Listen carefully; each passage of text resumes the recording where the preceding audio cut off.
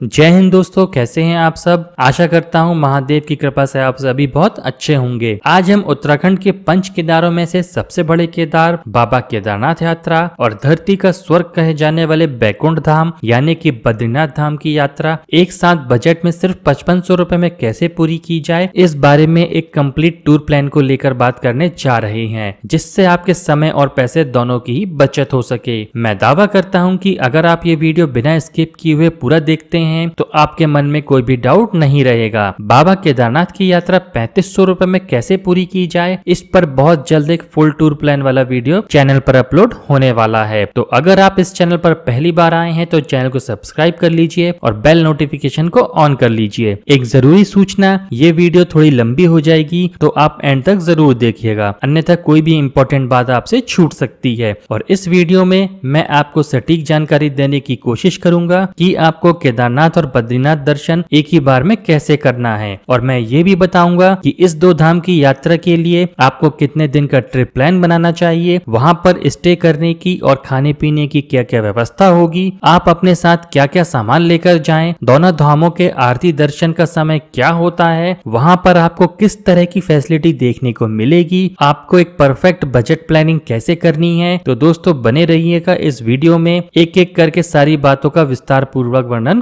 करूँगा, जिससे आपको सही मार्गदर्शन मिल सके और वहाँ पर आपको यात्रा करते समय कोई भी परेशानी ना आए। वीडियो को फ्यूचर में भी देख सकें। इसके लिए वीडियो को लाइक ज़रूर कर दें, ताकि ये वीडियो प्लेलिस्ट में हमेशा के लिए सेव हो जाए। बस कमेंट में हर हर महादेव और जय बद्री विशाल लिख दीजिए, ताकि महादेव का आशीर्वाद आप पर भी हमेशा बना रहे। हर हर महादेव, जय बद्री विशाल। तो चलिए करते हैं वीडियो को शुरू। इस वीडियो के पहले पार्ट में हम बाबा केदारनाथ और दूसरे पार्ट में हम बद्रीनाथ धाम की फुल जानकारी देंगे। सबसे पहले बात कर लेते हैं कि आपको केदारनाथ और बद्रीनाथ धाम की यात्रा के लिए कितने दिन का ट्रिप प्लान करना चाहिए। तो दोस्तों, आपको चार रात पाँच दिन, यानी कि फाइव डेज़ की प्लानिंग करनी चाहिए। यात्रा करने से पहले आपको चार धाम यात्रा का रजिस्ट्रेशन करवाना होगा, क्योंकि इस साल गवर्नमेंट ने कंपलसरी कर दिया है रजिस्ट्रेशन सभी के लिए। तो आप रजिस्ट्रेशन कर लीजिएगा। जाएगा और रजिस्ट्रेशन स्टार्ट हो चुके हैं। रजिस्ट्रेशन कैसे किया जाता है, उस पर एक डेडिकेटेड वीडियो मैंने चैनल पर पहले ही अपलोड कर चुका हूँ। ऊपर आई बटन पर लिंक दे दिया है। इसके अलावा डिस्क्रिप्शन पे भी आप उसका लिंक देख सकते हैं। अब बात करते हैं डे नंबर वन की। तो बाबा केदारनाथ मंदिर के दर्शन के लिए आपको सबसे पहले पहुँचना होगा सोन प्रयाग सोन प्रयाग तक जाने के लिए आपको हरिद्वार या ऋषिकेश बस डिपो से बस लेनी होगी। हरिद्वार या ऋषिकेश तक आप ट्रेन से आसानी से पहुँच सकते हैं। हरिद्वार रेलवे स्टेशन से कुछ ही दूरी पर बस स्टैंड है तो आप बस स्टैंड में जाकर काउंटर से भी अपने लिए बस का टिकट ले सकते हैं। इस वीडियो में हम बजट ट्रिप की बात करेंगे तो आपको बस से जाना ज़्यादा इकोनॉमिकल होगा। अगर आप बस स्टैंड जाके डायरेक्ट बस का टिकट लेते हैं सोनप्रयाग तक का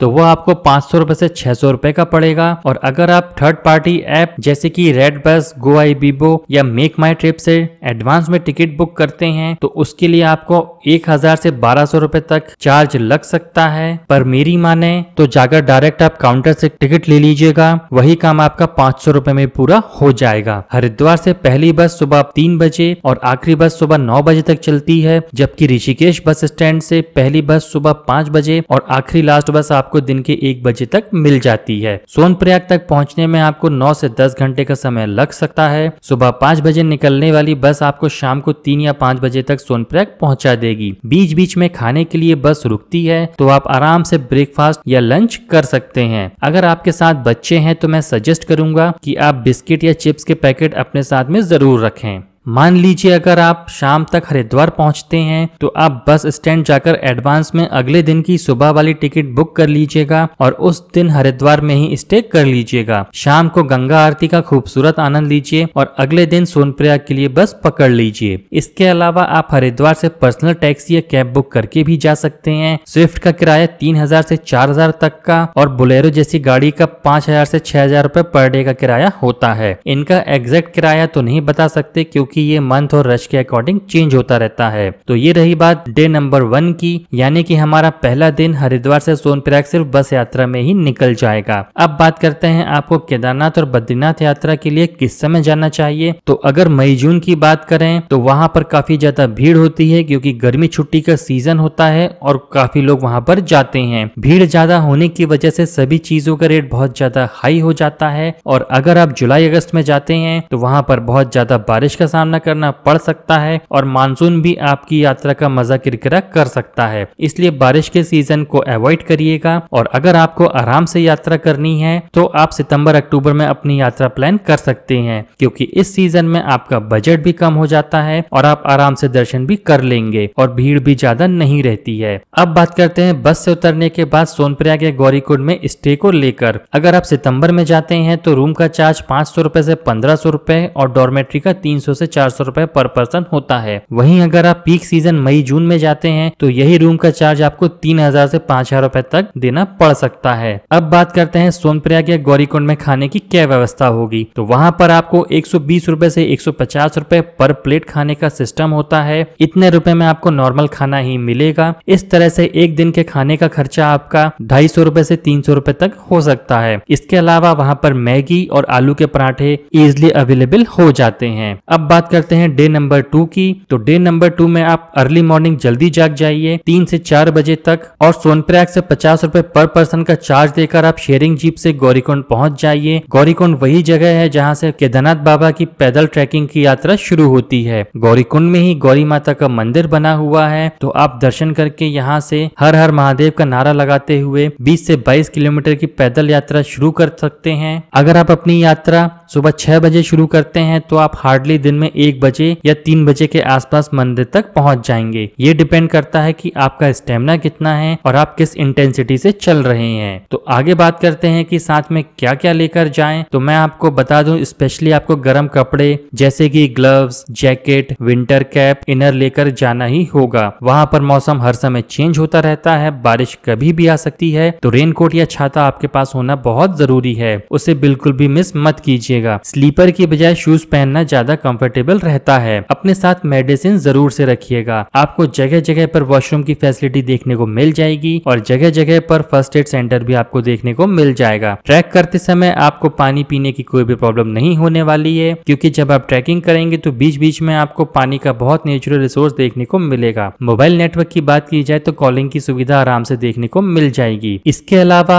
आप अपने साथ पावर बैंक विक्स सरदर्द की दवा और मूव स्प्रे जैसी चीज़ें ज़रूर से कैरी करें। तो यहाँ कुछ महत्वपूर्ण बातें थी जो आपको यात्रा शुरू करने से पहले जाननी ज़रूरी थी। दूसरी चीज़, अगर आप चलने में असमर्थ है तो आप हेलीकॉप्टर पालकी या घोड़े खच्चर का भी प्रयोग कर सकते हैं। अभी तक जिन्होंने यहाँ तक वीडियो देख ली है और वीडियो को लाइक और चैनल को सब्सक्राइब नहीं किया है तो मैं आपसे पूछना चाहता हूँ की लाइक और सब्सक्राइब क्यों नहीं किया? इसका क्या रीजन है? इससे ज़्यादा इजी वे में आपको कोई नहीं समझा पाएगा। तो आपसे एक रिक्वेस्ट है कि आप चैनल को सब्सक्राइब कर लें ताकि ऐसे ही इन्फॉर्मेटिव वीडियोस का लाभ लाभ आपको हमेशा मिलता रहे। अब आगे बात करते हैं रजिस्ट्रेशन फॉर्म को लेकर। तो आपका रजिस्ट्रेशन फॉर्म कहीं भी चेक हो सकता है। जब उसको स्कैन किया जाएगा तो आपको दर्शन के लिए एक टोकन दे दिया जाएगा। अगर आप सेम डे में ही दर्शन करना चाहते हैं तो आप अपने लिए टोकन ले लीजिए। मंदिर के नियर बाई आपको टोकन काउंटर से मिल जाएगा। उस टोकन में आपके दर्शन करने का टाइमिंग मेंशन होता है और ये टोकन चार घंटे के लिए वैलिड होगा। अगर केदारनाथ मंदिर के आरती की बात की जाए तो पहली आरती सुबह छह बजे और दूसरी आरती शाम को छह बजे होती है। मंदिर दर्शन के लिए सुबह पाँच बजे से रात नौ बजे तक खुला रहता है। आप लाइन में लग जाइए। हर हर महादेव का नारा लगाते हुए बाबा केदारनाथ महादेव के दर्शन कीजिए। बाबा के दर्शन करने के कुछ ही देर बाद आप वहाँ पे विश्राम करके वापस भी आ सकते हैं। अगर आप चाहें तो वहाँ पे नाइट स्टे भी कर सकते हैं। टेंपल के नियर स्टे करने के लिए तीन ऑप्शन होते हैं वहाँ पर। पहला जीएमवीएन का अकोमोडेशन दूसरा प्राइवेट होटल और लॉजेस तीसरा लोकल टेंट्स जीएमवीएन में स्टे करने के लिए आपके पास दो ऑप्शन है, स्वर्ग स्वर्गारोणी कॉटेज और सेकेंड है नंदी कॉम्प्लेक्स। स्वर्गारोणी में फैमिली रूम का फेयर सात हज़ार सात सौ बीस रूपए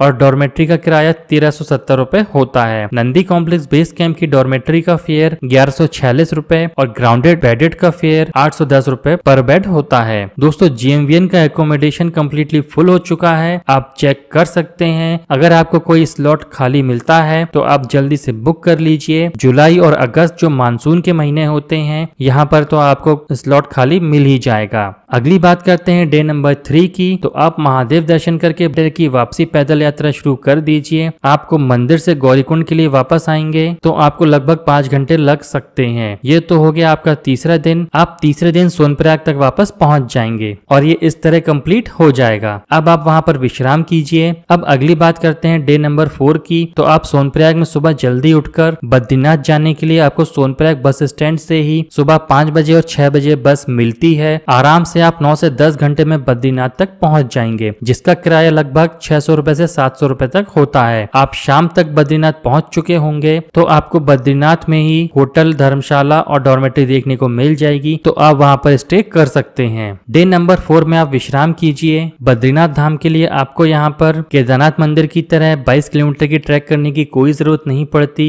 अगली सुबह डे नंबर फाइव पर आप फ्रेश हो जाइए। बद्रीनाथ मंदिर के पास ही गर्म पानी का नारद कुंड भी है। ऐसा कहते हैं कि अगर आप यहाँ स्नान कर लेते हैं तो आप संसार चक्र से मुक्त हो जाते हैं तो आप यहाँ पर स्नान करके फिर बद्री विशाल जी के दर्शन करना बहुत ही शुभ माना जाता है। बद्रीनाथ जी का मंदिर अलकनंदा नदी के तट पर स्थित है। बद्री विशाल यानी कि हमारे कृष्ण अवतार, विष्णु अवतार, बद्रीनाथ के दर्शन कीजिए। बद्रीनाथ मंदिर का जो दर्शन का टाइमिंग है तो मंदिर सुबह साढ़े चार से रात नौ बजे तक ओपन रहता है दर्शन के लिए। दोपहर बारह बजे से तीन बजे तक थोड़ी देर के लिए क्लोज होता है। तो दर्शन का काफ़ी देर तक का टाइमिंग है। तो आप अपनी टाइमिंग के हिसाब से दर्शन कर सकते हैं। बद्रीनाथ धाम के दर्शन करने के बाद आप वहीं पर स्थित माना विलेज भी जा सकते हैं। इसके बाद आप वहाँ से प्रस्थान ले लीजिए। बद्रीनाथ से आपको डायरेक्ट हरिद्वार के लिए बस मिल जाएगी। अगर आपको बस नहीं मिलती है तो फिर आप बद्रीनाथ से 45 किलोमीटर शेयरिंग जीप के माध्यम से जोशीमठ आ जाइए और जोशीमठ से आपको हरिद्वार के लिए बहुत सारे साधन मिल जाएँगे। तो आप बद्रीनाथ से इस तरह हरिद्वार आसानी से पहुँच सकते हैं। हरिद्वार आने में आपको लगभग 10 से 12 घंटे लग जाएँगे। इस तरह हरिद्वार आने में आपका पांचवा दिन भी कंप्लीट हो जाएगा। जहाँ पर भी आप स्टे करेंगे तो वहाँ पर होटल में आपको गर्म पानी की अच्छी व्यवस्था रहती है, क्योंकि ऊपर काफ़ी ठंड होती है। चलिए अंतिम बात करते हैं, इस केदारनाथ यात्रा और बद्रीनाथ दो धाम की यात्रा को करने में एक व्यक्ति का कुल खर्चा कितना आएगा? हरिद्वार से सोनप्रयाग तक का बस का किराया छह सौ रूपए,